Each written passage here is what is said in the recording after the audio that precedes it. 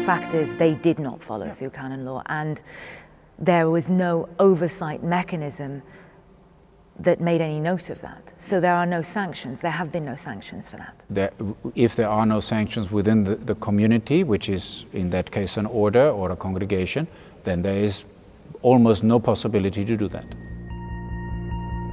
An order that is almost untouchable, even by the Pope. Religious orders like the Salesians are left to act with almost no external accountability.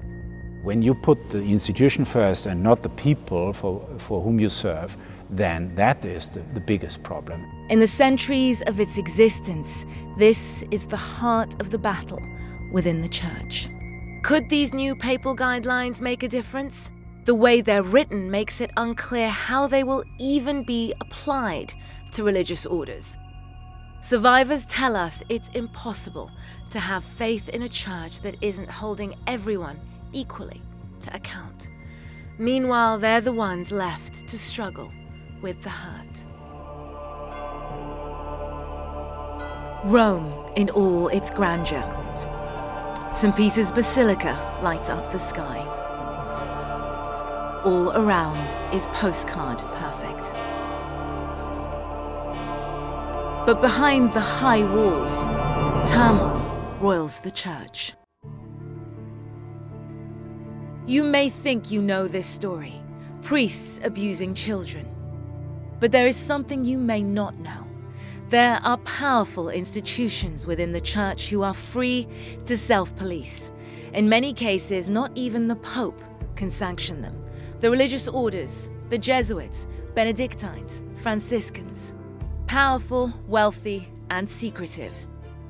But according to experts, victims, witnesses we spoke with, there is one order that stands out as among the most defiant, most unrepentant the Salesians of Don Bosco, the second largest order in the world, and whose very mission is to help vulnerable children. In a year long CNN investigation through Europe, Africa, and across the United States, we found a pattern of behavior which saw many of the Salesian Brotherhood protecting each other, moving alleged abusers from place to place, country to country. In some cases, allegedly threatening whistleblowers and victims. Across continents, across decades, an order meant to protect children but too many times hurts them instead.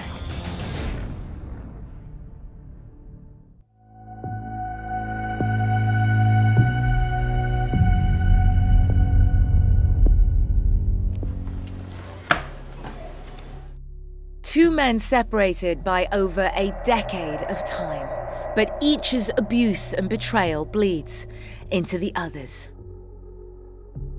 Lawyers say that when their client was a student at Richmond Salesian High School from 1969 to 1973, local television coverage of a shocking case. And in their lawsuit filed yesterday, they say other clergy at the school knew about it. In the late 60s, early 1970s, the Salesian High School in Richmond, California was a hunting ground for a ring of pedophile priests. I'm sorry. A self protecting cluster. An anonymous victim, John Doe 17, filed a lawsuit that was brought in 2003. John Doe 17 is Joey Piscitelli. I was kind of a happy child. I was an artist. I went to a Catholic grammar school. Uh, I got straight A's for eight years. When did that start to change?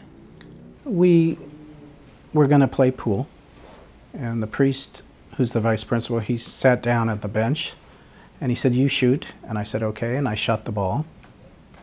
And I turned around and told him, It's your turn. And I looked at him, and he was sitting there masturbating. And I remember I, I turned all red. I started sweating. The hair on my neck was standing up. And I just stood there frozen. I didn't know what to do. And he said, Keep playing, now I want to watch you. And then I turned around and the head of the boys club, Brother Sal, was watching this and he just stood there watching. He did nothing.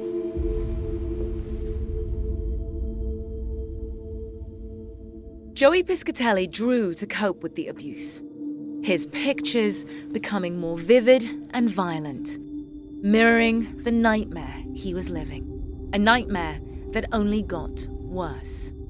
This went on for about a year and a half, and then um, one day he cornered me on the stairs and started molesting me and told me to get upstairs to the uh, all-purpose room uh, uh, on the third floor of the school. And he dragged me into the room and attacked me, and I was raped. And I passed out and blacked out while that happened, and um, I just totally lost sense of what happened after he started attacking me.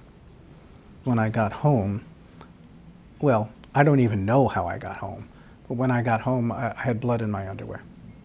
So I went in the backyard of my house and I wrapped the bloody underwear around a rock and threw it over the fence into the field to get rid of the evidence or whatever.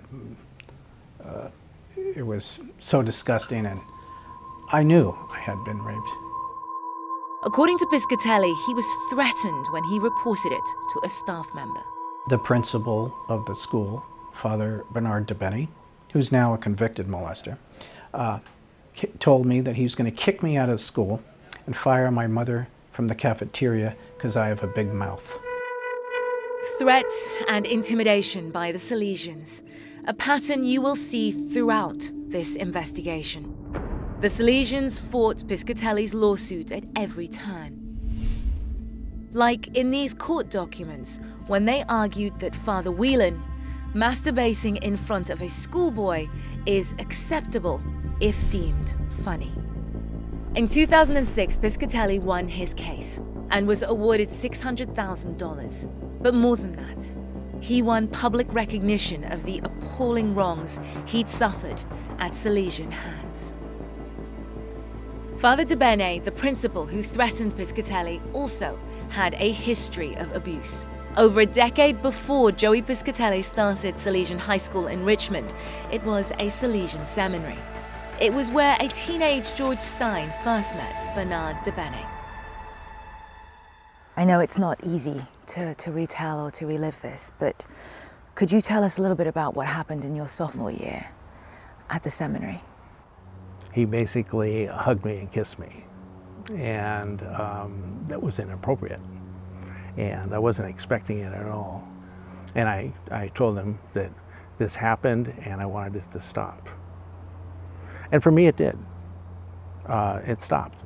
He remained there for the, the rest of the academic year, and then he was uh, reassigned. Um, but he was reassigned to another school? Yes, yes. Much later, Stein discovered the true horror hidden at the seminary. At our 40th anniversary of our graduation from high school, a third to a half um, shared that they'd had uh, occasion to um, be molested or to um, be approached. That's an extraordinary percentage of people in that room. Yes, yes, it is. The church says so much of this horror is in the past, but it's not. Only last year, the LA Archdiocese had to remove a Salesian priest from working within its school system after becoming aware of sexual abuse allegations dating back 40 years. Allegations that the Salesians had failed to act on. Patrick Wall was himself a religious order priest and to date has helped to investigate hundreds of clerical abuse cases. The Salesians are silencio.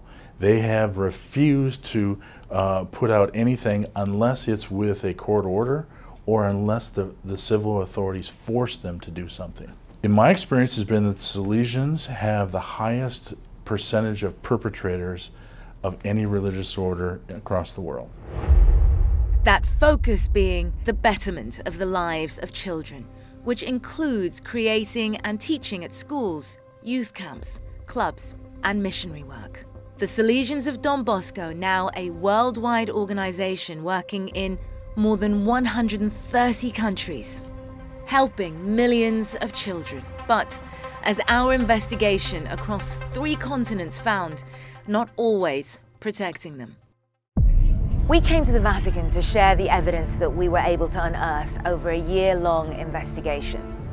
Evidence of abusers being moved, evidence of a refusal to defrock abusers, evidence of lives being destroyed. But many of the key institutions refuse to even speak to us. And that doesn't give much hope for the Church's commitment to transparency and change.